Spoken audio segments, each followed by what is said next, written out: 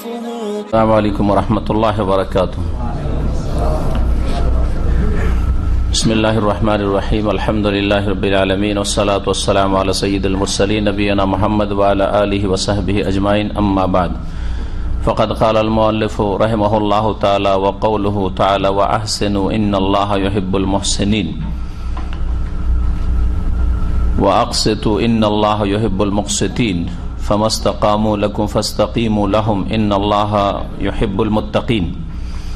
إن الله يحب التوابين ويحب المتطهرين. وقوله قل إن كنتم تحبون الله فاتبعوني يحببكم الله. وقوله تعالى فسوف يأتي الله بقوم يحبهم ويحبونه. وقوله إن الله يحب الذين يقاتلون في سبيله صفا كأنهم بنيان مرصوص. ওয়াকাউলহ ওয়াহুয়াল গাফুরুল ওয়াদুদ। মহান আল্লাহর সমস্ত প্রশংসা যে আল্লাহ রাবুল আলমিন তার নেকবান্দাদেরকে ভালোবাসেন, সৎকর্মশীলদেরকে ভালোবাসেন, যারা তার আজাবকে ভয় করে, তার নিয়ামতের আশা রাখে, তাদেরকে রব্বুল আলমিন ভালোবাসেন। যারা আল্লাহ রাবুল আলমিনের নাফরমান, বিরুদ্ধাচরণকারী তাদেরকে আল্লাহ রবুল্লা আলমিন ঘৃণা করেন। সালাম সালাম নাজিল হুফেন মোহাম্মদ রসুল্লাহ সাল্লাহ ইসলামের উপর, যিনি সবচেয়ে বেশি আল্লাহ রবুল্লা আলমিনকে ভালোবেসেছেন। এবং প্রত্যেক মমিনের ওপর মহান আল্লাহর ভালোবাসা এবং তার রসুল সাল্লাহ ইসলামের ভালোবাসা সবকিছুর ভালোবাসার ওপর ফরজ। যেই ব্যক্তি আল্লাহ এবং রাসুলের চাইতে অন্য কোনো কাউকে অথবা কিছুকে ভালোবাসবে, বেশি অথবা ভালোবাসায় প্রাধান্য দেবে, সেই ব্যক্তি মমিন হতে পারে না। লাউমেন আহাদুকুম হাত্তা কোন আহাব্বাই এলেহিমি ওয়ালে দেহি ওয়ালা দেহি ওয়ান্নাস আজমাইন। তোমাদের কোন ব্যক্তি অতক্ষণ সত্যিকার মমিন হতে পারবে না, যতক্ষণ পর্যন্ত আমি রসুল উল্লাহ সাল্লাম তার কাছে, তার মাতা পিতা তার ছেলে মেয়ে এবং সমস্ত মানুষের চাইতে বেশি ভালোবাসার পাত্র না হয়ে যাব। রসুল্লাহ হাদিস। মহানাল্লাহ কোরআন কেরিমে তার ভালোবাসা সম্পর্কে সাদ করেছেন আমানু আসাদ হব্বাল্লাহ মুশরিকরা, বহুত্ববাদীরা তাদের দেবদেবীকে, তাদের বাতিল উপাস্যদেরকে আল্লাহর মতো বা তার চাইতে বেশি ভালোবাসে। আল্লাহকে যেমন ভালোবাসা উচিত সেই রকম ভালোবাসে।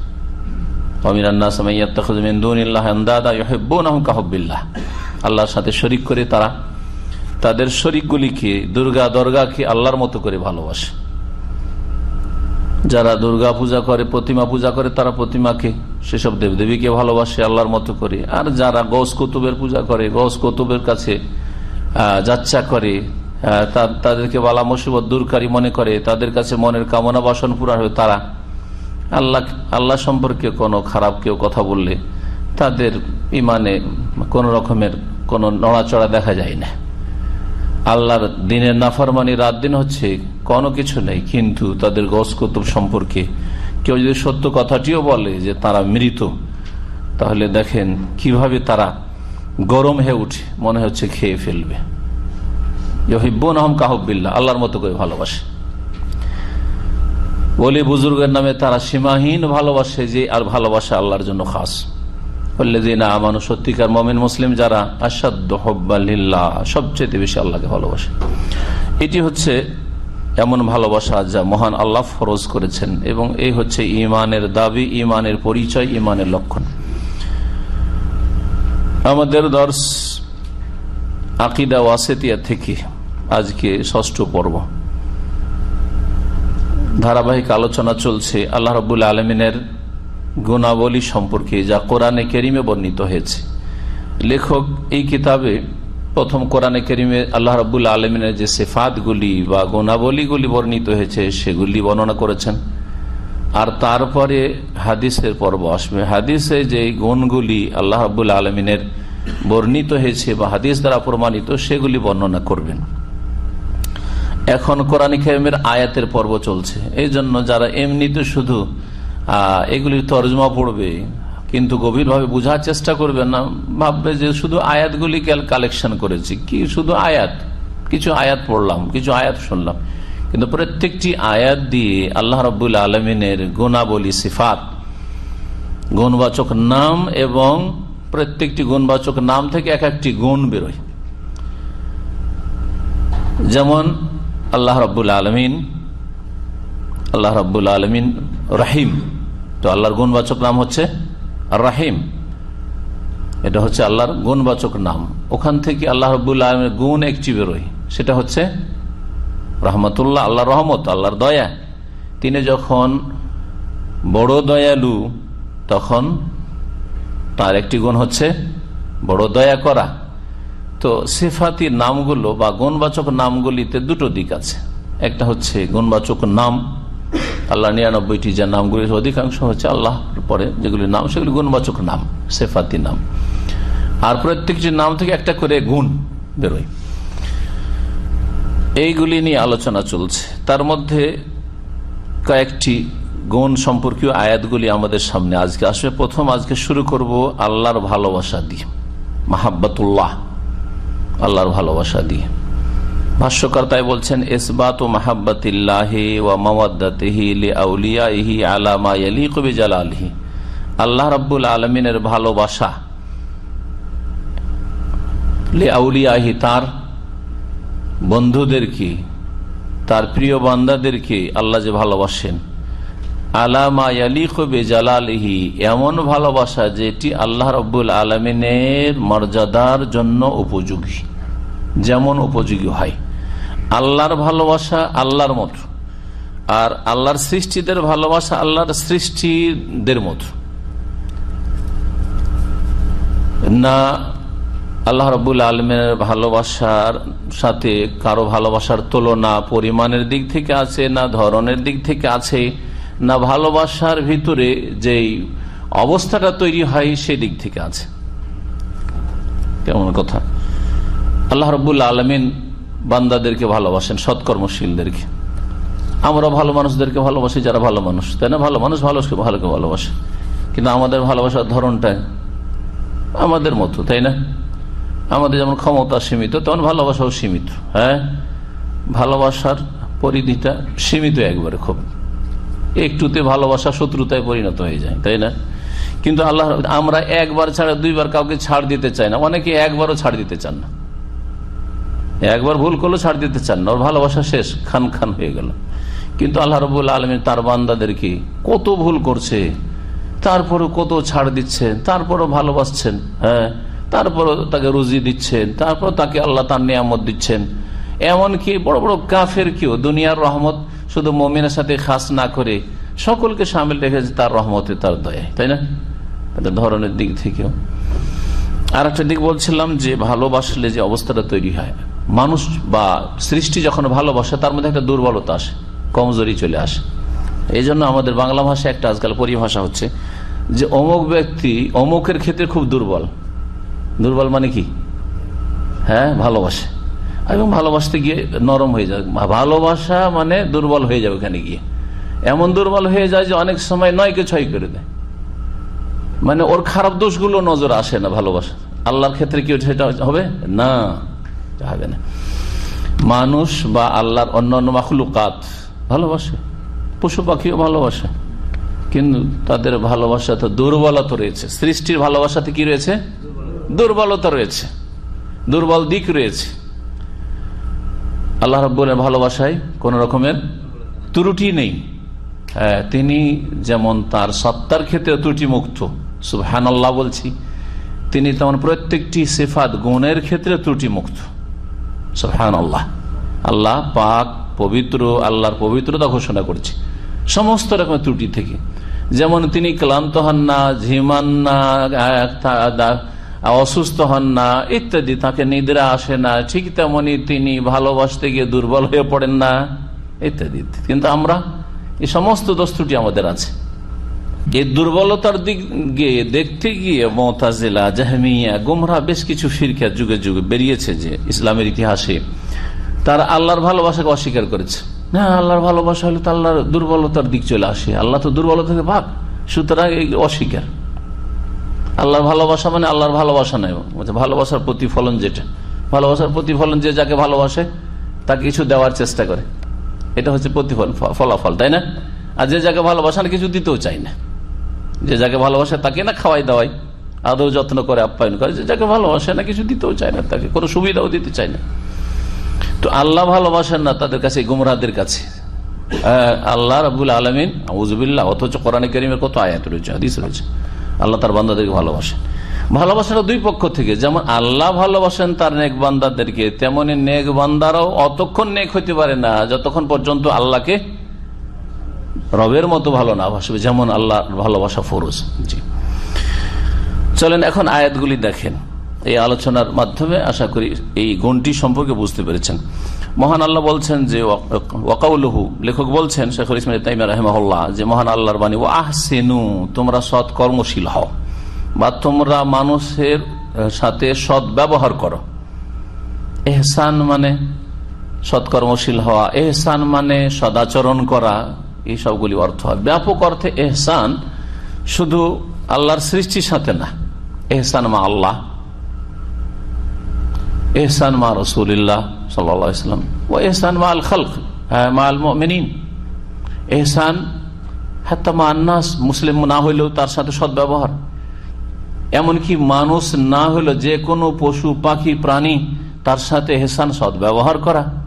নবী করিম পশু জবাই গরু জবাই করছেন, ছাগল জবাই করছেন মরুক মুরগি জবাই করছেন। সেই ক্ষেত্রে বলছে ফায়দা ফায়দা কাতাল তুম ফাহাসেন কিতলাতা। যখন তোমরা কোনো কিছুকে খুন করার প্রয়োজন মনে করবে, তখন খুন করতে হবে। যেমন সাপ, খুন করবেন না? সাপকে মারবেন না? হ্যাঁ? বিচ্ছুকে মারবেন না? হিংস্র পশুকে মারবেন না? মারতে হবে। না তো আপনাকে মেরে ফেলবে। তার খুন করাটাও ভালোভাবে করো। মানে ভালোভাবে খুন করা। কষ্ট দিয়ে খুন করিও না। যেমন একটা হিংস্র পশুকে গুলি করে খুন করতে পারবেন বা ধারালো অস্ত্র দিয়ে খুন করতে পারবেন না, আগুনে পুড়িয়ে খুন করলেন, মারলেন। জায়েজ? না? তোমরা যখন জবাই করবে পশু পাখি ফা আহসেন জবাই করতে হবে। জবাই না করলে হালাল হবে না আপনার। হ্যাঁ? যেসব পশুকে আল্লাহ হালাল করেছেন, জবাই করতে হবে। স্থলের যদি প্রাণী হয়, গরু, উঁট ইত্যাদি, ছাগল, জবাই করতে হবে, তাই না? পাখি, জবাই করতে হবে। মাছের ক্ষেত্রে না হয় জবাই শর্ত নয় বা সামুদ্রিক যেগুলি প্রাণী, সেগুলির ক্ষেত্রে। জবাই করতে হবে। জবাই যখন করবে তার মানে এই নয় যে যে কোনো ভাবে কষ্ট দিয়ে জবাই করো। আহসেন যে ভাতা জবাইয়ের ক্ষেত্রে সদ ব্যবহার করো সদাচরণ করো। তাহলে ইসলামে যে এহসান শেখানো হয়েছে, ওটা সীমিত অর্থ নয় যে এহসান। এর কথা পশ্চিমারা বলে, সেটাও সীমিত আবার তাদের লোকদের সাথে। তাদের চালচলনে, তাদের মতো যেগুলো তাদের সাথে। আমরা আল্লাহর সাথে প্রথম এহসান। হ্যাঁ এটা হচ্ছে ইসলামের সবচেয়ে উচ্চ স্তর। জানেন কি না? ইসলাম, তারপরে ইমান তারপরে এহসান হচ্ছে মারাফিতে দিনের তিনটা স্তর। সবচেয়ে উচ্চ স্তর হচ্ছে ইমানের ক্ষেত্রে, ইসলামের ক্ষেত্রে আল্লাহর সাথে এহসান নিষ্ঠার সাথে আল্লাহর এবাদবন্দি করা। যেন আল্লাহকে দেখছেন, তাও যদি না হয় তাহলে আল্লাহ যেন দেখছেন এই কথা সবসময় মগজে বসিয়ে রাখা। এহসান মা আল্লাহ। রাসুল্লাহামের সাথে সদ্ব্যবহার হচ্ছে। জীবনের প্রতিটি ক্ষেত্রে রসুল্লাহামের আদর্শ অনুসরণ ছাড়া অন্য কিছু করি না বলি বুঝি না। দলিল ছাড়া এই হুজুর বলেছেন, বুজুর্গ বলেছেন, এটা মুরব্বীদের তরিকা, এটা এই নকশবন্দির তরিকা এইসব তরিকা পরিকা না। আমার কাছে তরিকা মোহাম্মদ রসুল্লাহ তরিকা। এটা হচ্ছে এহসান রসুল্লাহ সাথে। রসুলের সাথে এহসান নাই যে রসুলের নাম আসলে শুধু চুমা চাটা দিলেন, কিন্তু তরিকা হচ্ছে অন্যদের। মুসলিমদের সাথে এহসান। যেমন এহসান হওয়া উচিত। যে যত বেশি আল্লাহর কাছাকাছি, তার সাথে তত বেশি এহসান। তারপরে অমুসলিমদের পালা আসবে। মানুষ হিসেবে তাদের সাথে সৎ ব্যবহার করা। আর তাদের সাথে এহসানের একটা দিক হচ্ছে তাদেরকে জাহান্নাম থেকে জাহান্নামের আগুন থেকে রক্ষা করার চেষ্টা করা। এই জন্য ইসলামের দাওয়াত। তো এই হচ্ছে এহসান। তো আল্লাহ যে কোরআন এহসানের কথা বলেছেন, এই সমস্ত ব্যাপক অর্থে কিন্তু ইসলাম কত সুন্দর দিন চিন্তা করেন। আল্লাহর সাথে আপনার সদাচরণ, নবীর সাথে সদাচরণ মাতা পিতার সাথে দেখেন, অবিল ওয়ালে দেয় না এহসান। আত্মীয় স্বজন স্বজনদের সাথে, তাদের সাথে এহসান। হ্যাঁ? পাড়া প্রতিবেশের সাথে এহসান। মুসলিমদের সাথে এহসান, যেখানকারই হোক না কেন যে কোনো ভাষাভাষী হোক না কেন। অমুসলিম, মুসলিমও নয়, তার সাথেও সৎ ব্যবহার, খারাপ ব্যবহার করতে ইসলাম বলে নাই। ও হাসেনু বা কুলুলিনাসে হুসনা।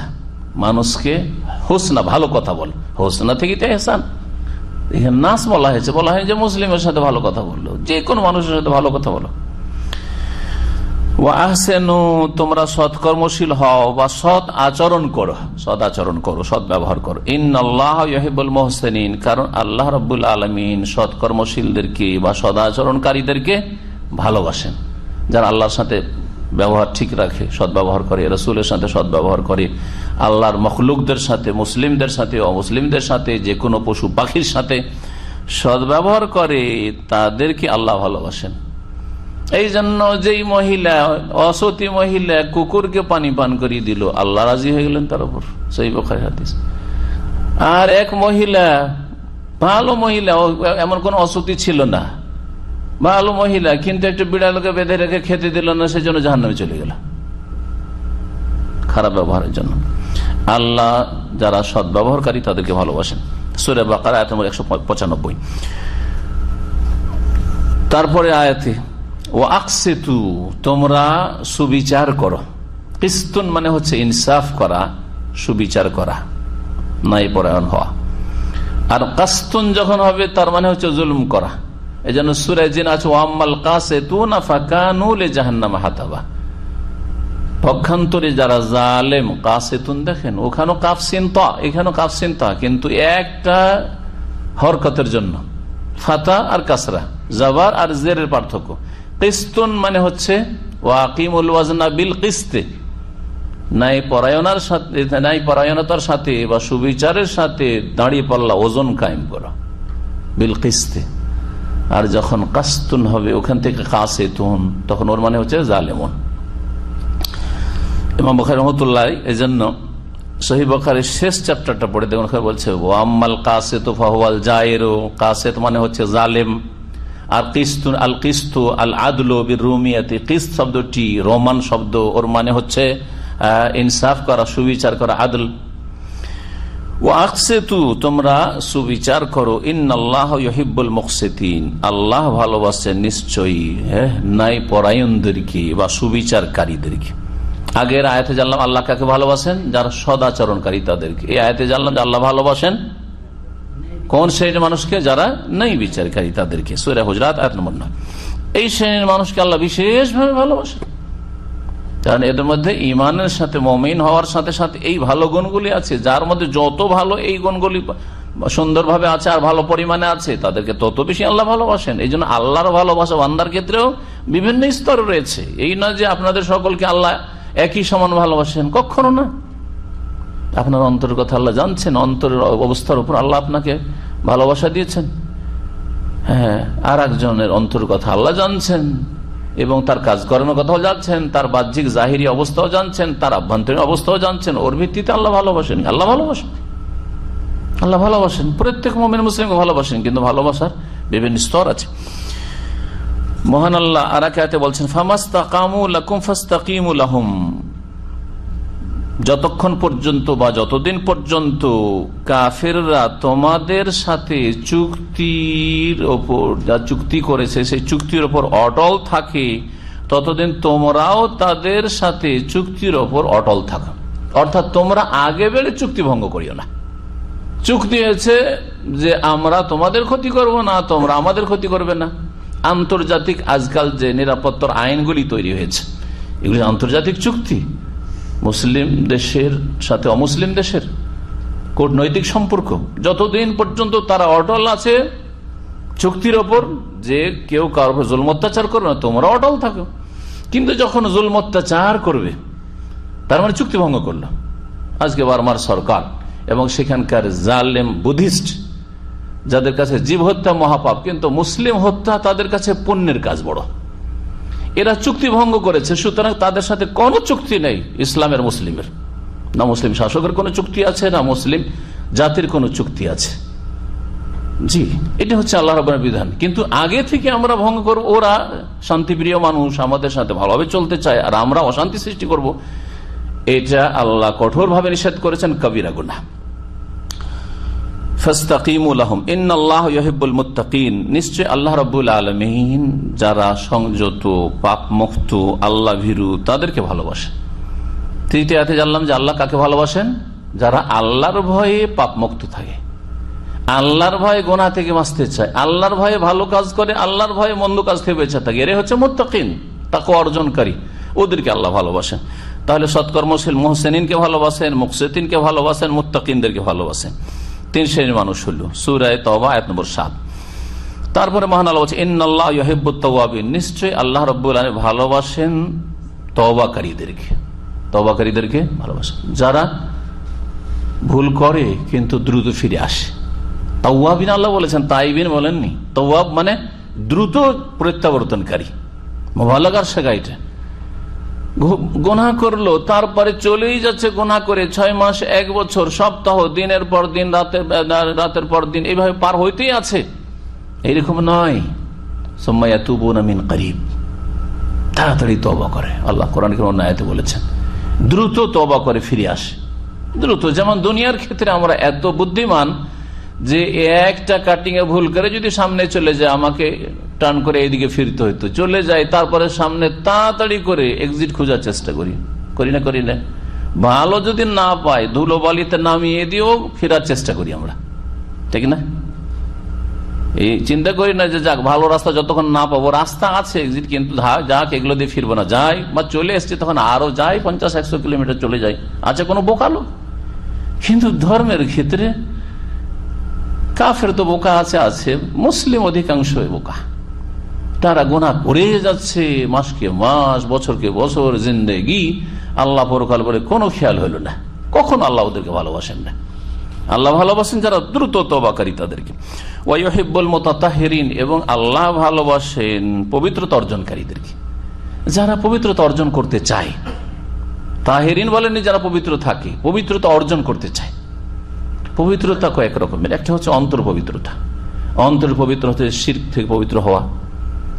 ইমানের মাধ্যমে জি। তৌহিদের মাধ্যমে বিদাত থেকে পবিত্র হওয়া। হ্যাঁ যতগুলি পাপের কামনা বাসনা হইতে পারে হ্যাঁ কুপ্রবৃত্তির অনুসরণ হইতে সেগুলি থেকে পবিত্রতা।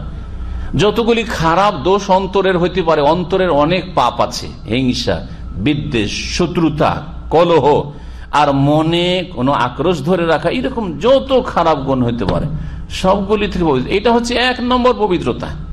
তারপরে তখন শরীরে পবিত্রতা। তারপরে তার এক পবিত্র গোসল ফরজ আছে, সুতরাং শরীরটা পাক করতে হবে। আর পবিত্রতা হচ্ছে যে উজু নাই তো উজু করতে হবে।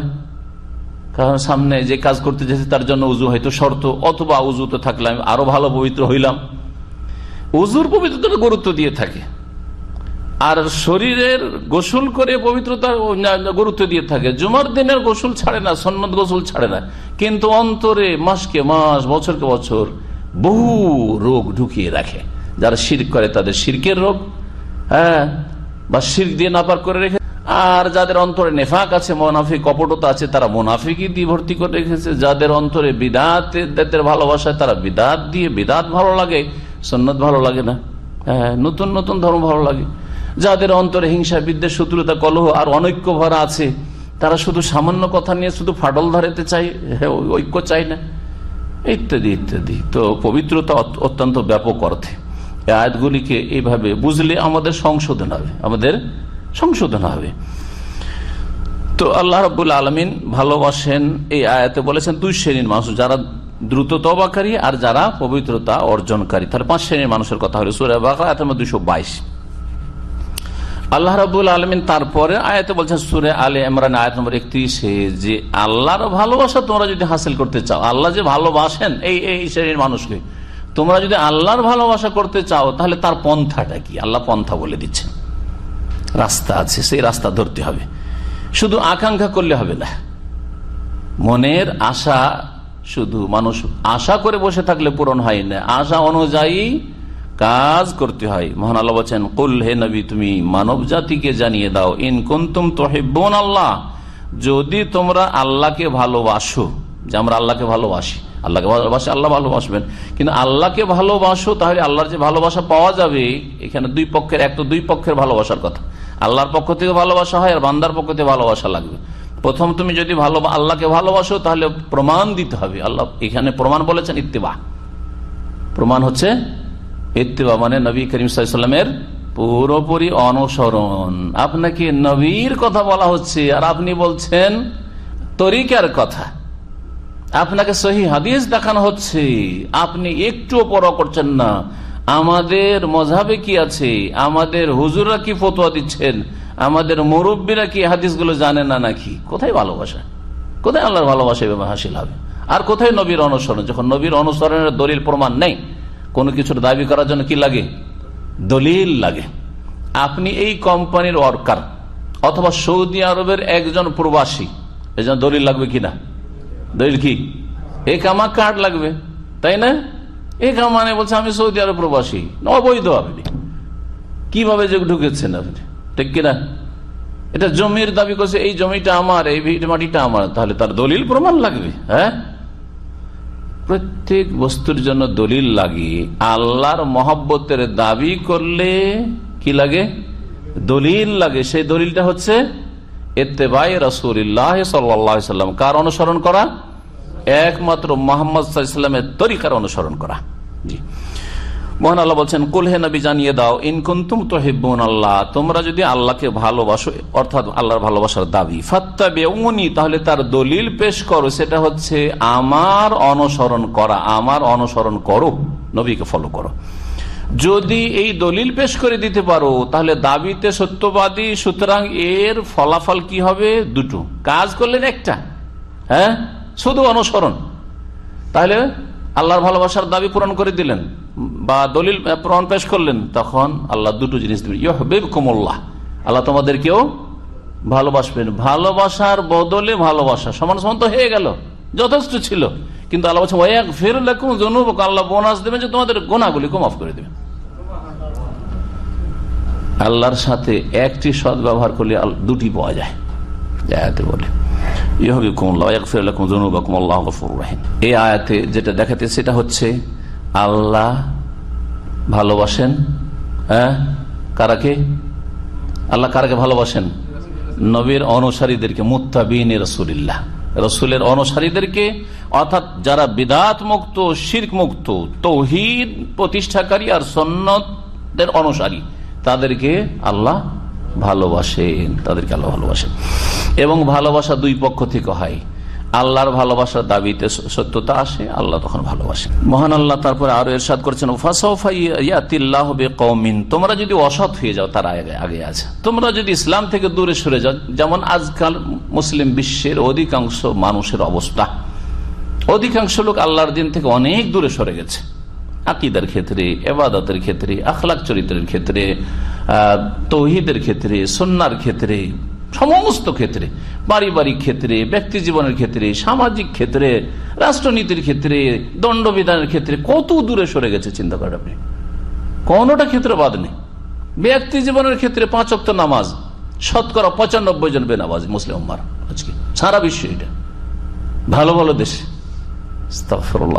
মুসলিম দেশে এমন নয় যে কাফেরদের মাঝে বাস করে কিছু জটিলতা না, কিচ্ছু নেই। আর আমি আল্লাহ নিয়ামত দিয়েছেন, পাঁচ অক্টা নামাজ পড়ার। মসজিদ হাতের নাগালে আছে। না, নামাজ পড়ে না। মসজিদের সময় গাড়িতে বসে আছে, না ঘরে উঠে গেল। জি হ্যাঁ ব্যক্তি জীবনেই ইসলাম পালন করে না। তাহলে আর অন্য জীবনে কেমন করে আল্লাহ শান্তি দেবেন? এবং মনে রাখবেন, যারা আল্লাহ রব্বুল আলমিনের এবাদত করার সুযোগ পাওয়ার পরেও আল্লাহর এবাদত করল না। আল্লাহ আল্লাহর হক আদায় করতে পারবে সুন্দরভাবে, তারপরও আল্লাহর হক আদায় করল না। তাদের ওপর আল্লাহ পাকের মুসিবত শীঘ্রই এমন আসবে, যখন তারা আল্লাহর এবাদত করতে চাইবে, কিন্তু এবাদত করার সুযোগ পাবে না। কথাটি মনে রাখবেন ভালো করে। সারা বিশ্বের মুসলিমদের ইতিহাস একশো বছরে, দুইশো বছরে যদি স্টাডি করে দেখেন, এই অবস্থাটা দেখবেন। আরামে ইসলাম পালন করতে পারছিল সেই দেশগুলিতে।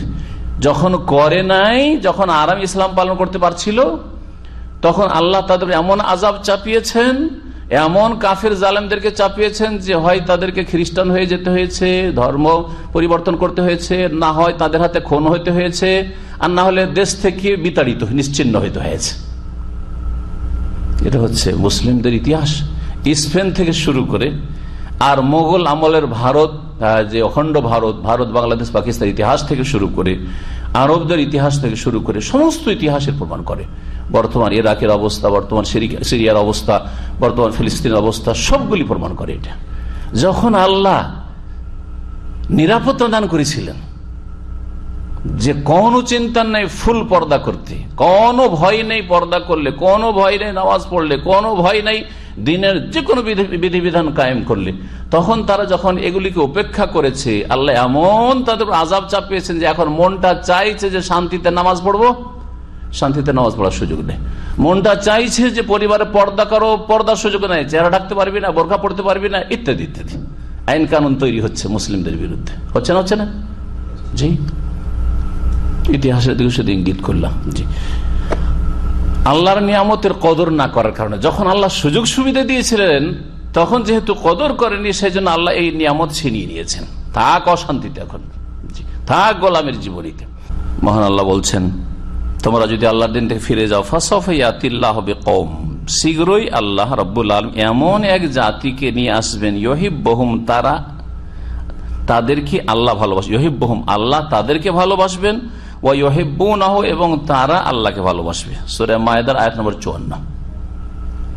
তোমরা যদি আল্লাহর দিন থেকে সরে যাও, তাহলে এমন এক জাতিকে আল্লাহ পাক সৎ করবেন ইমানের তাকওয়ার তফিক দেবেন যে তারা এমন সৎ হবে যে আল্লাহ তাদেরকে ভালোবাসবেন এবং তারাও আল্লাহকে ভালোবাসবে।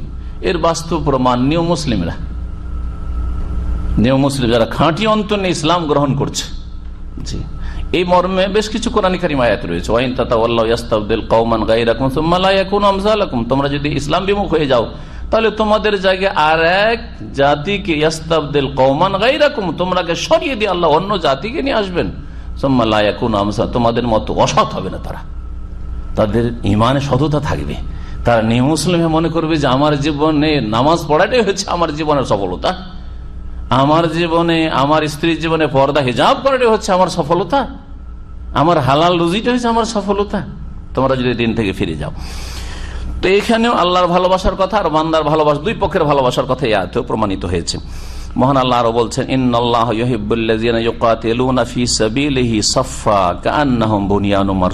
নিশ্চয় আল্লাহ ভালোবাসেন ওই সব লোকদেরকে যারা তার রাস্তায় সশস্ত্র লড়াই করে সাফান কাতারবদ্ধ হয়ে, সারিবদ্ধ হয়ে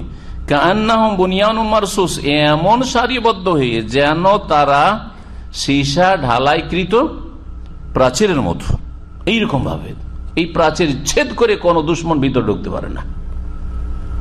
তাদেরকে আল্লাহ কি করেন? ভালোবাসেন। তাহলে এতে জানতে পারলাম যে আল্লাহ রব মুজাহিদিনদেরকে ভালোবাসেন। যারা এখলাসের সাথে জেহাদ করে, আল্লাহর কালেমাকে উঁচা করার জন্য, আল্লাহর দিনকে শক্তিশালী করার জন্য, এবং এর জন্য বেশ কিছু শর্তাবলী রয়েছে। সেই শর্ত পূরণ করে তারা এবং পূরণ করার চেষ্টা করে। যাদের কাছে এই শর্ত পুরো আছে তারা তার জন্য এই দায়িত্ব পালন করে। ও কৌলহু মহান আল্লাহ আর এরশাদ করেন ওয়াহুয়াল গফুরুল ওয়াদুদ। মহান আল্লাহ বড় মার্জনাকারী আর প্রেমময়। সুরে বুরুজের আয়াত নম্বর চোদ্দ। এই ছিল আয়াতগুলি। আল্লাহ রব্বুল আলমিন হচ্ছেন তৌয়াব আর যে আল্লাহর কাছে তবা করে সেও তৌয়াব তো আল্লাহ, যে আল্লাহর কাছে তবা করে ফিরে যায় মানে গোনা হয়েছে, ভুল হয়েছে, অন্যায় হয়েছে, তারপর আল্লাহর দিকে ফিরে যায়, তওয়াব, তাবা এত মানে প্রত্যাবর্তন করা, ফিরে আসা। কিন্তু আল্লাহর নিরানব্বইটি নামের মধ্যে একটি নাম হচ্ছে তৌয়াব তৌয়াব আমাদের দেশের নাম নেই আব্দুল তৌয়াব মানে তৌয়াবের বান্দা। তো এর মানে কি? বান্দাও তৌয়াব যে আল্লাহর দিকে দ্রুত পরিবর্তন করে, প্রত্যাবর্তন করে, পরিবর্তন হয়ে আসে, আর আল্লাহ তওয়াব। তো আল্লাহ তওয়াব মানে কি? ইন্নাল্লাহ তওয়াবুন হাকিম করে না আছে। তো তওয়াব মানে কি করবেন? আল্লাহ তওবা? কি? কি? গ্রহণকারী, কবুলকারী, এটা একটা অর্থ। আর কোন অর্থ আছে? এটাকে কিন্তু তফসির আমি বলেছি বিষয়টি।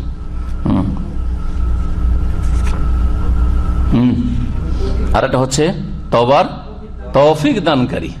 তবা কবুলকারী এবং তবার তৌফিক দানকারী যে তবা করার চেষ্টা করে, তাকে আল্লাহ তবার তৌফিক দেয়।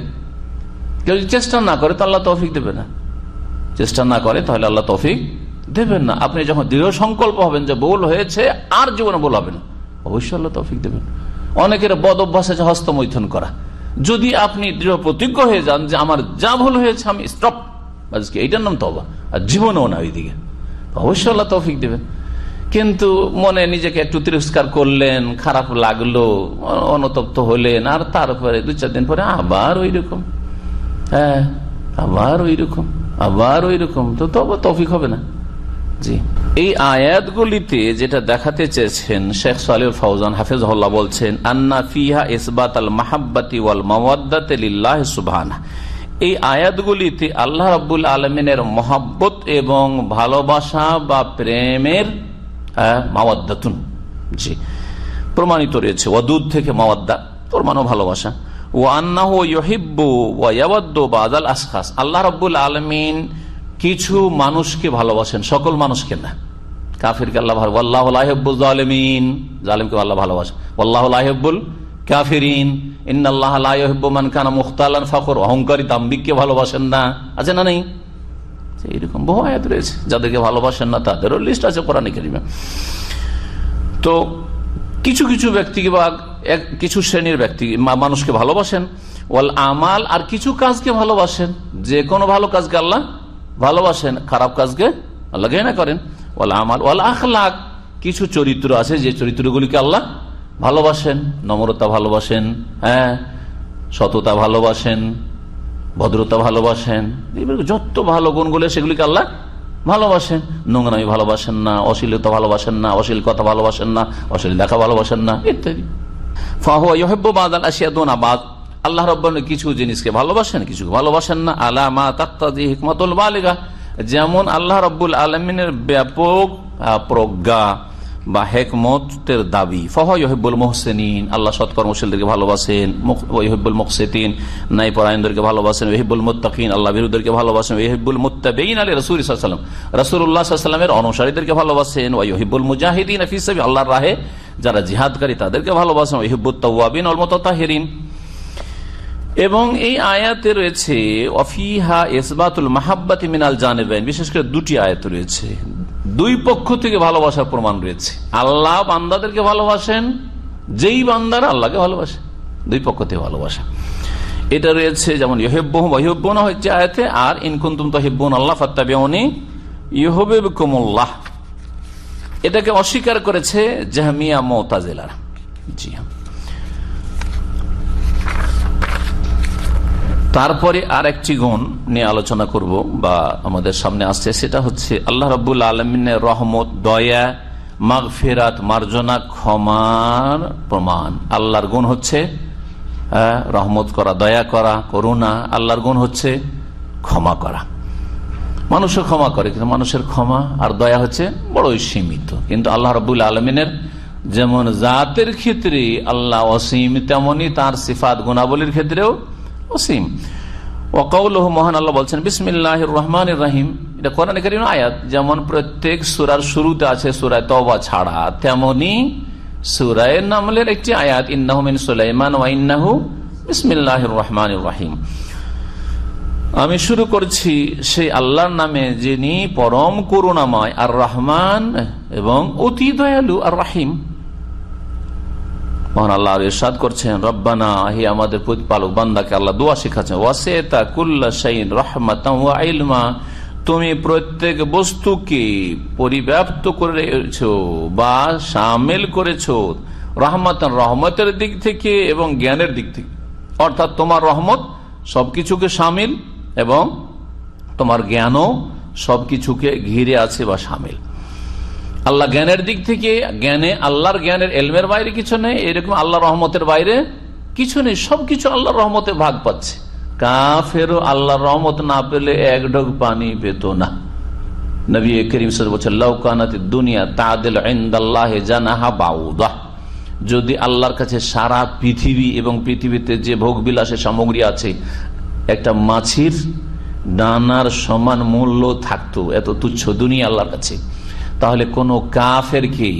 মাসাকা কাফেরান। সারবাতাম এক ডোক পানি আল্লাহ খেতে দিতেন না। তোকে পানি দিব না, তুই যখন বিশ্বাস করিস না, আল্লাহকে বিশ্বাস করি না, করিস না, আল্লাহর অস্তিত্ব বিশ্বাস করিস না, অথবা আল্লাহর একত্র বিশ্বাস করিস না, অথবা আল্লাহর আদেশ নিষেধ বিশ্বাস করি না, করিস না, আল্লাহর এবাদবন্দি করিস না তো খেতে দেবো না। কিন্তু আল্লাহ সবকে দিচ্ছে। কীট পতঙ্গ সবকিছুকে আল্লাহ রহমত সামিল। এবং আল্লাহর এলম সামিল। কোথায় কীট পতঙ্গ, কোথায় কোন মাখলুক আছে, সব খবর আল্লাহকে আছে। রহমাত সুরে গাফির এত নম্বর সাত সুরে গাফির অপর নাম?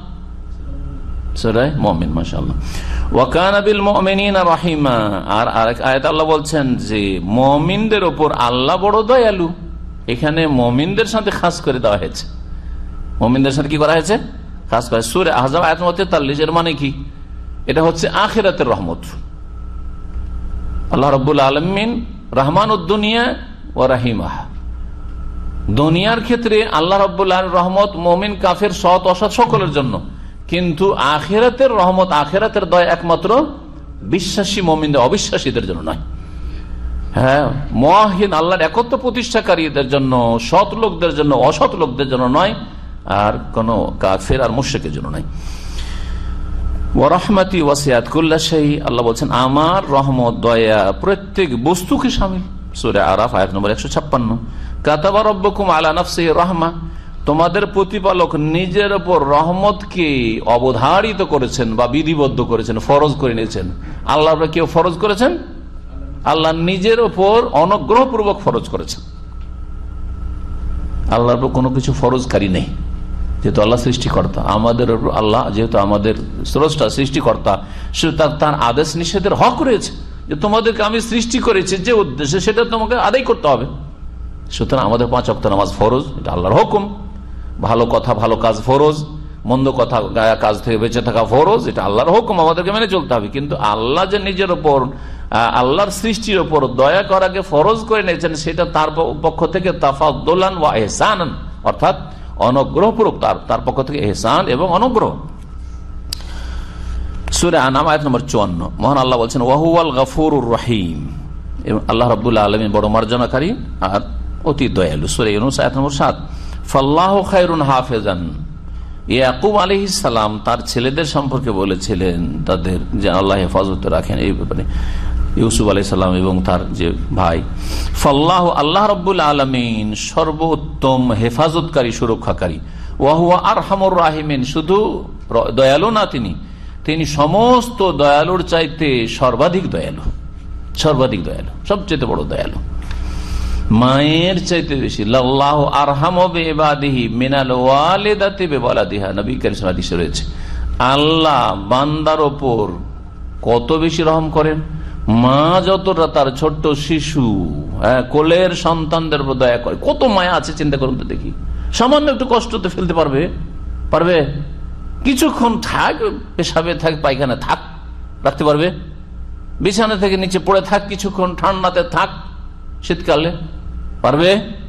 না। কখনো কত মায়া চিন্তা করেন। কত যে খালিস, নির্ভেজাল মায়া মায়ের থাকে বা বাপের থাকে ছেলে মেয়েদের ওপর রসুল বলছেন, আল্লাহ তার চাইতে বেশি বান্দার ওপর দয়ালু। সুতরাং বান্দা যদি সামান্য কিছু অধিকার রাখে, জাহান্নাম থেকে পরিত্রাণ পাওয়ার, তো আল্লাহ কখনো জাহান্নামে দেবেন না। অর্থাৎ ইমান যদি থাকে এবং ইমানের প্রমাণ হচ্ছে পাঁচ অক্ট নামাজ। ইমান মানে শুধু ইমানের দাবি নয় ইমান মানে তৌহিদ, আল্লাহর একত্র ইমান মানে আল্লাহর একত্র শির্ক মুক্ত জীবন। কিন্তু পাপের বোঝা আছে, পাপের পাহাড় আছে। ইমান ভঙ্গ করেনি নামাজ ছেড়ে দিয়ে হ্যাঁ? নামাজ প্রমাণ করেছে তার অন্তর ইমান আছে। আজকালকার যে জাতিতে মুসলমান নামাজ পড়ে না, কোনো প্রমাণ নেই, কারণ হিন্দু নামাজ পড়ে, রাস্তায় বসে। বা ঘুমিয়ে নামাজের সময়, আর মুসলিম বে নামাজিও ঘুমিয়ে, তো পার্থক্য কোথায়? তাহলে পার্থক্যটা দেখাইতে হবে। এটা হচ্ছে দলিল যে তুমি মুসলিম, তুমি মমিন বিশ্বাসী, অবিশ্বাসী না। এই জন্য সঠিক মতে এবং গবেষকদের মতে বেনামাজি, আধা নামাজি কাফের মুসলিম নয়, ভালো করে শুনে রাখেন। যদি প্রমাণ করে দিতে পারে যে আমি সর্বদা মুসলিম থেকেছি, কারণ আল্লাহ দুইটি আয়তে সতর্ক করেছেন ওয়ালাতুন্না ইল্লা ওয়ান্তু মুসলিম মুসলিম না থাকা অবস্থায় মরিও না। নামাজ এক অক্ত ছেড়ে দিয়ে মারা গেল, তার মানে মুসলিম না থাকা অবস্থায় মারা গেল ইসলাম বিহীন অবস্থায় মারা গেল। আল্লাহ কঠোরভাবে সতর্ক করে দিয়েছে কেউ বলতে পারবে না আল্লাহ, আমি তো জানতাম না। হ্যাঁ আমি তো বুঝতাম না, তুমি তো বলনি। আল্লাহ বলে দিয়েছে কোন একটি হাদিসে নেই যে বেনামাজি ফাঁসেক হয়। কোন একটি হাদিসে এইরকম নেই যে বেনামাজি ইসলামের ভিতরে থাকে। এই দুটো কথা কোথাও খুঁজে পাবেন না। কোরআনে খুঁজে পাবেন হাদিসে খুঁজে পাবেন না। কিন্তু হাদিসে খুঁজে পাবেন এবং কোরআনেও খুঁজে পাবেন যে নামাজ না পড়লে কি হয়ে যায়? কাফের হয়ে যায়। ফামান তারা কাহা ফাঁকান কাফার। অস্বীকার নাই। ছেড়ে দিলে অলসতাই অবহেলাই পড়ছি, পড়ব, কাফারা শব্দ এসছে। জি। ফাইন তাবু আকামুস সলাত ওয়াতাউ যাকাত। ফাইখানুকুফিদ্দিন তারা তওবা করে যদি নামাজ পড়ে, যাকাত দেয়, তাহলে তোমাদের ধর্মীয় ভাই দিনই ভাই। নাহলে দিনই ভাই নয়। কোরআনেও রয়েছে। কিন্তু এর বিপরীতটা দেখান তো দেখি। যে নবী সালাম একটা হাদিসে বলেছেন যে বেনামাজি ফাসেক। নবী সালাম বলেছেন যে বেনামাজিও মুসলিম থাকে। একটি হাদিস। কেমন পর্যন্ত দেখাতে পারবে না। সুতরাং এই যে মতটি রয়েছে, এই মতটি দুর্বল, যদিও দল ভারী। দল ভারী হলে সেটি সঠিক হবে, জরুরি নয়। জি হ্যাঁ। সুতরাং খুব সতর্ক সাবধান। অন্তত মুসলিম হয়ে যদি মরতে পারেন, তাহলে ওহু আর রাহিম। সমস্ত দয়ালু চাইতে বড় দয়ালু আল্লাহ রাবুল আলম কখনো আল্লাহ মমিন ইমান অবস্থা যদি মারা যায়, তাহলে তাকে জাহান নামে চিরকাল রাখবেন না। হতে পারে কিছু পানিশমেন্ট হতে পারে। কবরে মেলা পানিশমেন্ট শাস্তি হয়ে গেছে। দুনিয়াতে মেলা বালা মুসিবতের মাধ্যমে শাস্তি হয়ে গেছে। তারপরেও যদি তার কাফার মোচন না হয়ে থাকে, তো কিছুদিন যেতেও পারে জাহান নামে খুনি, সারাবি হ্যাঁ ব্যবিচারকারী ইত্যাদি ইত্যাদি, মেলা কাবিরা গোনা আছে। যেতে পারে, কিছু কাল, দীর্ঘকাল যেতে পারে, কিন্তু তারপর ইমান ভঙ্গ যদি না হয়ে থাকে নামাজ প্রমাণ করে দিতে পারে এবং শির মুক্ত থাকতে পারে। তো ওয়াহুয়া আর হামুর রাহিম। তিনি সমস্ত দয়ালু চাইতে বড় দয়ালু, আল্লাহ রাবুল আলমী ইউসুফ, আয়াত নম্বর চৌষট্টি। এর আয়াতগুলি কেন নিয়ে এসেছেন? লেখক রাহেমাহুল্লাহ, শেখ সারিফ ফজান হাফিজ বলছেন, আন্না ফিহা ওয়াসফাল্লাহ সুবহান ওয়া তাআলা বির রহমাতি ওয়াল মাগফিরাতে। শুরুতে হেডলাইনে বলে দিয়েছি যে, এই আয়াতগুলিতে আল্লাহ রব্বুল আলমিন, আল্লাহ সুবাহ তালাকে কি বলা হয়েছে যে তিনি হ্যাঁ দয়ালু। তার রহমত রয়েছে, তার দয়া রয়েছে, তার মাগফেরাত, তার ক্ষমা রয়েছে, মার্জনা রয়েছে।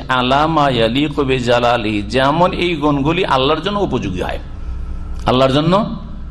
ধরনের ক্ষেত্রে, পরিমাণের ক্ষেত্রে পরিমাণের ক্ষেত্রে সীমানা আছে কিছু যে আল্লাহর রহমত হচ্ছে এতটা হ্যাঁ আল্লাহর ক্ষমা হচ্ছে এতটা নসীম, জি। এবং সৃষ্টির সাথে এই ক্ষেত্রে কোনো তুলনা চলবে না। আমরা ক্ষমা করতে গিয়ে ক্ষমাতে ঘাটতি থাকে। আবার ক্ষমা করতে গিয়ে বাড়াবাড়ি হইতে পারে। হ্যাঁ। রহমতের ক্ষেত্রে দয়া করতে গিয়ে আবার জুলম হয়ে যায় অনেক সময়। দয়া মায়া করতে গিয়ে কি হয়? জুলম হয়। এমন মায়া করছেন যে আরেকজনের হক মেরে মায়া করছেন। করছেন না করছেন না। ছেলে মেয়েদের মায়াতে হারাম রুজিয়া ইনকাম করছেন। এটা একটা ওর বাস্তব একটা এক্সাম্পল দেওয়া যেতে পারে। ছেলেমেয়ের মায়াতে তো না হলে নিজের পেটে তো ভালোই খাচ্ছেন যাচ্ছেন চলে যাচ্ছে। কিন্তু এই যে হারাম রোজগার কিসের জন্য? ছেলে মেয়েদের মায়ায় ওদেরকে ডাক্তার ইঞ্জিনিয়ার বানাইতে হবে বা ওদেরকে অনেক বড় করতে হবে, ওদের জন্য অনেক জমি জায়গা রেখে যেতে ওদের জন্য পাকা বাড়ি বা শহরে ওদেরকে একটা বাড়ি ঘর ভালো দিয়ে যেতে হবে, কিন্তু হালাল পয়সা দিয়ে জুটছে না। তখন বিভিন্ন হারাম পন্থায় উপার্জন। তো আমরা দয়া করতে গিয়ে কি করি? জুলম অত্যাচার করে ফেলি, নিজের ওপর অথবা অন্য কারও ওপর অন্যের হক মেরে। জমি জায়গায় কেন বেমানি করে মানুষ? অন্যের উপর জুলম অত্যাচার করে হ্যাঁ? রাজনীতির ক্ষেত্রে অথবা অর্থের ক্ষেত্রে, ধন সম্পদ অর্জনের ক্ষেত্রে, সুদ, ঘুষ, কেন? সরকার ওকে বেতন দিয়েছে তারপরে ঘুষ খাচ্ছে কেন? হ্যাঁ না ছেলে মেয়েদেরকে আরও ভালো করে লেখাপড়া করলে এই অফিসারের বেতন দিয়ে ছেলে মেয়েরা এত ভালো স্কুলে আর ভালো ভালো জায়গায় বিদেশে পড়াশোনা করানো যাবে না। সুতরাং হারাম খেতে হবে, ঘুষ খেতে হবে, সুদ খেতে হবে বেবানি করতে হবে। তো এই জন্য বলছেন আল্লাহ মায়ালি কোজাল আল্লাহ রব্বুল দয়া করতে গিয়ে, আল্লাহ ক্ষমা করতে গিয়ে কোন রকমের জুলম হয় না। কোন রকমের জুলম হয় না। পক্ষাতের মানুষ দয়া করতে গিয়ে আর মাফ করতে গিয়ে জুলম হয়ে যায়। মাফ করতে গিয়ে জুলম। নিজের ছেলে মারামারি করেছে, পাশের বাড়ির ছেলের সাথে, ছেলে মেয়েদের সাথে। হয় না? হয়। হয় কি, হয় না আমাদের দেশে? হয়। এমন পক্ষে নেই। বেশি মায়া করতে গিয়ে নিজের ছেলে মেয়েদের দোষটা শুধু প্রতিবেশীর ছেলের নজরে আছে এই ওর ছেলেরা খারাপ। আমার ছেলেটা ফেরেস্তা হয় না? মুখে বলে না না বলে। কাজের বেলা ওইটাই। জি। মানুষের সামনে ছেলেকে ধমক দিল, ভিতরে ভিতরে স্বামী স্ত্রী গল্প করছে যে, ছেলেটা আমার ভালো, আমার ছেলে কোনো দোষ নেই। খুব একবারে ভালো মন, ভালো ছেলে আপনার। আর পরের ছেলেটাই শুধু খারাপ। জি। ভাই বোনের ছেলে মেয়েদের সেটা এক অন্যে যারা থাকে, আমাদের দেশে এরকমটাই হয়। ভাইয়ের ছেলেটাই খারাপ লাগে শুধু। ভাইয়ের মেয়েটাই শুধু খারাপ, কিন্তু আপনার ছেলে মেয়ে ফেরেস না সব। জি। দয়া মায়া করতে গিয়ে অত্যাচার করি। যে কত ক্ষেত্রে আমরা। আর এই আয়াতগুলি দ্বারা খণ্ডন করা হয়েছে জাহমিয়া, মোতাজেলা, গোমরা দলগুলির ওনাহিম আর এইরকমই যারা রয়েছে মিম্মানিয়ান ফাউনা আনিল্লাহ তেসাবির রহমতুল মকফের যারা অস্বীকার করেছে আল্লাহর রহমত এবং মকফেরাত মার্জনার গুণগুলিকেই কেন? ফেরারা মিনা তসবিহ বেজাম। তাদের ধারণায় যদি আল্লাহ ক্ষমাকারী, আল্লাহ দয়াকারী বলি, তো সৃষ্টির সাথে তুলনা হয়ে যায়। জি, সৃষ্টি সদৃশ্য হয়ে যায়। তারা রূপক অর্থে তখন নিয়েছে। আর একটি বিষয় নিয়ে আলোচনা করে নিয়ে জিক্র রেজাল্লাহ আল্লাহর যখন রহমত, আর কিসের কথা আসলো? হ্যাঁ? রহমত রহমত মানে দয়া। রহমত, দয়া আর মার্জনা, ক্ষমার কথা আসলো। এখন আল্লাহ সন্তুষ্ট হন, আল্লাহ রাজি হন। আবার ওর বিপরীত, আল্লাহর ক্রোধ হয়। আল্লাহ সন্তুষ্ট হন। আল্লাহ ঘৃণা করেন। আল্লাহ যেমন মহব্বত করেন, ভালোবাসেন আল্লাহ ঘৃণা করেন। কোরআন করিমে এই গুণগুলিও আল্লাহ রব্বুল্লাহর ক্ষেত্রে বর্ণিত হয়েছে। এইগুলি হচ্ছে আল্লাহ রব সেফাতে ফেলিয়ে। কি বলবেন এগুলোকে? আল্লাহর কর্মগত গুণ। আল্লাহর কি? কর্মত কর্মগত গুণ। আল্লাহ রাবুল আলমিন বান্দাদের ওপর, নেক বান্দাদের ওপর রাজি হন না হন না। এই জন্য সাহাবির নাম আসলে কি বলে রদি আল্লাহ আনহু। রদি আল্লাহ আনহু মরাদু আনহু মহাজির আনসার সম্পর্কে কোরআন কেরিম আছে না নেই? আল্লাহ রাজি হন। আচ্ছা আল্লাহ যখন রাজি হন, এটা আল্লাহর কর্মগত সেফাত। সেফাতে কি? ফেলিয়া বললাম, ভালো করে মনে রাখেন। সেফাতে ফেলিয়া এই জন্য বলছি যে, কিছুক্ষণ পরে বা সামনে সপ্তাহের দিকে আসবে আল্লাহর সেফাতে জাতিয়া, সত্তাগত গুণগুলি আসবে। তাহলে গুণ হচ্ছে দুই রকম। জাতি সেফাতে জাতিয়া, সত্তাগত গুণ, আর সেফাতে ফেলিয়া মানে কর্মগত গুণ। সেফাতে ফেলিয়ার মধ্যে কিছু কিছু সেফাত রয়েছে, যেই সেফাত গুণগুলি তো আল্লাহর আছে, কিন্তু সেই গুণ থেকে আল্লাহর নাম নেওয়া যাবে না মানে নামকরণ করা যাবে না। যেমন আল্লাহ রব্বুল আলমিনের রহমতটা হচ্ছে গুণ। এই রহমত থেকে আল্লাহর গুণ বাচক নাম আছে রাহিম বা রহমান, তাই না? মাগফেরাতটা ক্ষমা করাটা আল্লাহর গুণ। এখান থেকে আল্লাহর নাম হচ্ছে গাফার বা গাফুর আছে না নেই? কিন্তু আল্লাহর গুণ হচ্ছে রাজি হওয়া। কেউ যদি আল্লাহর নাম রাখে যে রাজি হ্যাঁ? যিনি রাজি হন, তার নাম হচ্ছে রাজি। হ্যাঁ? তো আল্লাহকে যদি আর রাজি বলে, তো বলা যাবে, আল্লাহ নিরানব্বইটা নামে আর রাজি নেই। এইরকমই আল্লাহ রাগান্বিত হন। মকজুব আলিহিম ইয়াহুদিরা, ওদের ওপর কে রাগান্বিত হন? আল্লাহর ক্রোধ হয়। তাহলে কি আল্লাহর নাম, আল্লাহর গজব হয় বলব? তাহলে এটা হচ্ছে কর্মগত ফির কর্মগত আল্লাহর গুণ। কিন্তু আল্লাহর কি এখান থেকে নামকরণ করা যাবে যে আল্লাহর নাম হচ্ছে গাদেব? না বলা যাবে না। আল্লাহ অসন্তুষ্ট হন সাখেত আসখাত মানে ইসিম ফাইল, যিনি অসন্তুষ্ট হন, তার নাম হচ্ছে সাখেত তো আল্লাহর নাম কি সাখেত রাখা যাবে? না, করা যাবে না। এই আয়াতগুলি দেখুন। বলছেন যে কোরআন কারিমে এই গুণগুলি বর্ণিত হয়েছে এবং আল্লাহ রব্বুল্লা আলমিনের এই গুণগুলি রয়েছে। অকৌল মহান আল্লাহ রদি আল্লাহ আনহম ওয়ারাজু আনহ সুরা মায়েদ আয়াত একশো উনিশে রয়েছে। আল্লাহ তাদের রাজি হয়ে গেছেন এবং তার আল্লাহর উপর রাজি হয়ে যাবে বা রাজি হয়ে গেছে। যে আল্লাহর কাছে যা পেয়েছে তাতে। ওয়াকাউল মহান আল্লাহ ওয়ামাই একতুল মেনাম মোতামেদান যারা ইচ্ছাকৃত কোন মমিন মুসলিমকে খুন করবে, তার শাস্তি হচ্ছে, বদলা হচ্ছে জাহান্নাম, একটি শাস্তি। খালেদান ফিহা, চিরকাল থাকবে, যদি হালাল মনে করে, অথবা যদি ইমানবিহীন অবস্থায় খুন করে, অথবা শাস্তি এটাই, কিন্তু তার ইমান তহির ঠিক থাকলে চিরকাল রাখবেন না, চিরকালটা দীর্ঘ কালের কালে রূপান্তরিত হবে, এ অর্থ।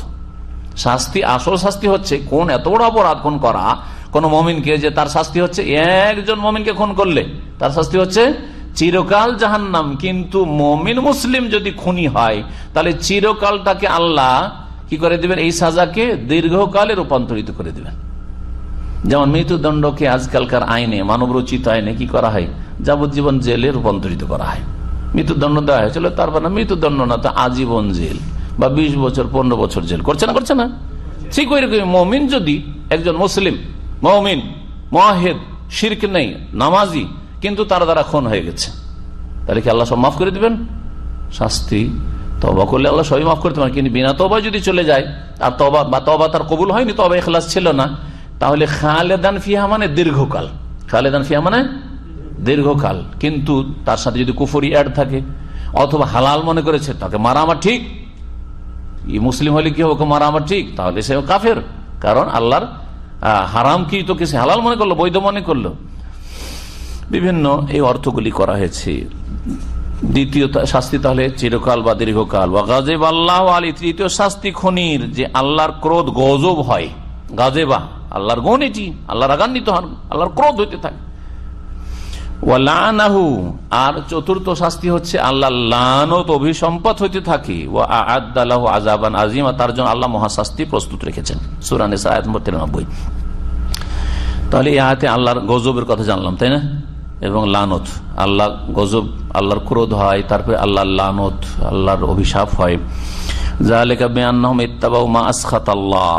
এর কারণ হচ্ছে যে তারা এমন কিছুর অনুসরণ করেছে যা আল্লাহকে অসন্তুষ্ট করেছে। মানে তাদের আচার আচরণ কি করেছে? আল্লাহকে অসন্তুষ্ট, নারাজ করেছে। তাহলে আল্লাহ নারাজ হন। ওয়াকারেহু রিজওয়ানা এবং তারা আল্লাহর সন্তুষ্টিকে ঘৃণা করেছে। আল্লাহকে রাজি করতে চায়নি। সুতরাং আল্লাহর, আল্লাহ তাদের নারাজ হয়েছেন। সুরা মোহাম্মদের আয়াত নম্বর আঠাইশ। মহান আল্লাহ আরও এরশাদ করেন, ফালাম্মা আসাফুনা, যখন তারা আমার বিরুদ্ধাচরণ করল। ইনতাকামনা মিনহুম, তখন তাদের থেকে প্রতিশোধ নিলাম। আল্লাহ তাহলে প্রতিশোধ নেন। এটা হচ্ছে আল্লাহর সেফাতে ফেলিয়া। কর্মগত আল্লাহর কাজ হচ্ছে কি নেওয়া? প্রতিশোধ নেওয়া। কিন্তু আল্লাহর নাম কি বলে? মুন্তাকিম? বলবেন না। সুরা জখর আয়াত নম্বর পঞ্চান্ন। মহান আল্লাহ এরশাদ করেন, ওয়ালাকিন কারিহাল্লাহম যারা মোনাফিক তবুকের যুদ্ধে যায়নি, তাদের সম্পর্কে সুরা তবার আয়াত নম্বর ছয়চল্লিশ এরশাদ করেছে, আল্লাহ তাদের যুদ্ধে গমনকে ঘৃণা করেছেন। তাহলে আল্লাহ মোনাফিকদের কে ঘৃণা করেন, তাদের কাজকর্মকে ঘৃণা করেন, আল্লাহ চাননি যে তারা এতে কারণ তারা চেষ্টা করেনি তাদের অন্তরে নেফা কপটতা আছে, সেজন্য আল্লাহ তাদের তফিক দেয়নি। আল্লাহ তাদের যুদ্ধে গমনকে মোনাফিকদের যুদ্ধে গমনকে ঘৃণা করেছেন। তাদেরকে ভারী করে দিয়েছেন। ওই সময় মাথা ভারী হয়ে গেছে, মনটা ভারী হয়ে গেছে। আরে, অনেক গরম প্রচণ্ড গরম।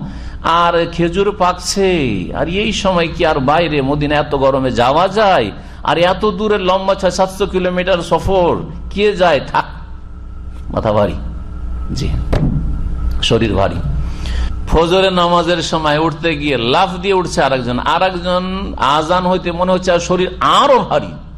মন চাইছে না যে উঠি। আল্লাহ চাই না যে তুই জান্নাতে যা। কারণ তোর চেষ্টা নেই সেজন্য। এই না যে আল্লাহ জুলুম করে দিয়েছেন এই জন্য। তোর চেষ্টা নেই, তোর শরীর আরও ভারী হতে যাচ্ছে। তো থাক, তুই শুয়ে থাক। কারি আল্লাহ তার উঠাকে ফজরের জন্য আল্লাহ ঘৃণা করেছেন। তাকে তাকে শুয়ে আল্লাহ রেখে দিয়েছেন। ভারী করে রেখে দিয়েছেন, তাদের বিছানায়। হয় না? অসৎ লোকরা, যাদের ইমানে দুর্বলতা আছে, কপটতা আছে হ্যাঁ পাপ বেশি হ্যাঁ নেকি কম, তাদের অবস্থাটা এরকম অনেকে মনে মনে চায় তাহাজুদ পড়তে, কিন্তু তাহাজুদ একদিন উঠতে পারে না। ও ভাবছে যে হয়তো এটা আমার ঘুমের দোষ না। ঘুমের দোষ না, তোমার ইমান আমলের দোষ আছে। এগুলো গুরুত্বপূর্ণ বিষয় মনে রাখবেন। একজন লোক প্রতিদিন উঠতে পারে, আর আপনি মাসে একদিন মনটা চায় তার উঠতে পারছেন না। দেখেন ভালো করে খোঁজ নিয়ে আপনি অন্দর মহলে যে আপনার অনেক পাপ আছে, যার ফলে এত ভালো কাজের তৌফিক আল্লাহ দিচ্ছেন না আপনাকে। যে নির্জনে আপনি আল্লাহর সাথে অ্যাপয়েন্টমেন্ট নেবেন, আল্লাহর সাথে কথা বলবেন। অনেক সময় ভালো মানুষ যার আজকালকার জামানার ভালো মানুষ, কিন্তু এই ভালো কাজটা তৌফিক হচ্ছে না। মনটা মাঝে মাঝে তারপর উঠতে পারছেন না। প্রতিদিন বেতর ছেড়ে দিলেও বেতরটা ছুটে যায়, ওই আজান হয়ে যায়। অ্যালার্ম লাগিয়ে রাখলে আলম বন্ধ করে আবার শুয়ে পড়েন। দোষ আল্লাহ না দোষ, অ্যালার্ম বন্ধ করে আপনার শুয়ে যাওয়ার। শরীরটা কেন ভারী হয়ে গেল? অ্যালার্ম বাজলো, বন্ধ করলেন, তারপর শুয়ে যাচ্ছেন আবার। তৌফিক আল্লাহ হচ্ছে না। কারি আল্লাহ বেআসাহম যখন পাপ বেড়ে যায়, আপনি শুয়ার আগেখানে ফেসবুক দেখতে দেখতে মহিলার ছবি এসব আজে বাজে দেখে শুইবেন। কি করে তৌফিক হবে তাহাজুদ পড়তে উঠান আপনি অভ্যাস করেন তো, কোরআন পড়ে সন্ত দেখি উজুর অবস্থায় সন্ত দেখি। হ্যাঁ আয়াতুল কুরসি পড়ে ঘুমান্ত দেখি। সোনা এখলাস ফালাকানাস পড়ে ঘুমান্ত দেখি। জিকির, আজকার করতে করতে ঘুমান্ত দেখি। অবস্থা পরিবর্তন করেন। তারপরে যদি তাহাজুদে না উঠতে পারেন, আরও কিছু দেখেন যে আরও অন্য কোনো দোষ আছে নাকি? আমি কি রুজি হারাম খাচ্ছি? সারাদিনে কি কাজ করেছি? বা আমার ব্যাকগ্রাউন্ডটা কি? আপনি বেশি বুঝছেন। জি, আমি কিছু কিছু বলে দিলাম যাতে করে বুঝতে পারেন যে আমার অবস্থাটা কোথায় আছে। এই আয়াত শুধু মোনাফেকদের ক্ষেত্রে নয় আর এই শুধু জেহাদের ক্ষেত্রে নয় যে জেহাদে চারা যেতে পারেনি, আমাদের প্রত্যেকটা মানুষের জীবনের ক্ষেত্রে।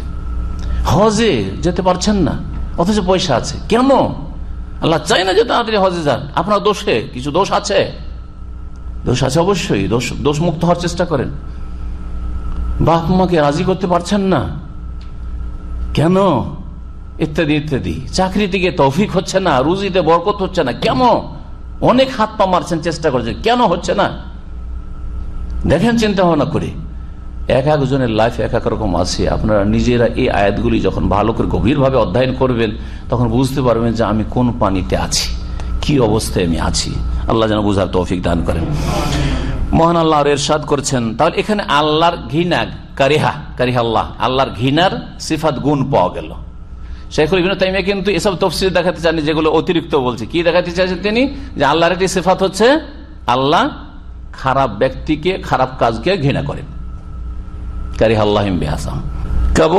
ইন্দাল্লাহ, আল্লাহর কাছে বড়ই অসন্তুষ্টির কারণ। আন্তাকুলু মালাতা ফালুন যে তোমরা এমন কিছু বলবে যা তোমরা নিজেরা করো না। নিজে পারেন না, নিজে করেন না, আর বলতে আছেন মানুষকে। গিবোধ করিয়েন না খড়ি করিয়েন না, মিথ্যা বলিয়েন না আরাম খায়েন না, সুদ খায়েন না, ঘুষ খায়েন না, আর নিজেই সবকিছু করছেন। ছেলে মেয়েকে তরবিয়ত দিচ্ছেন শেখাচ্ছেন এই মিথ্যা কথা বলতে নেই, আর বেমানি করতে নেই, হারাম খেতে নেই, আর নিজে হারাম রুজি এসে এনে এসে ছেলে মেয়েকে খাওয়াচ্ছেন। তাদের জন্য হারাম পয়সা দিয়ে বাড়ি করে রেখেছেন।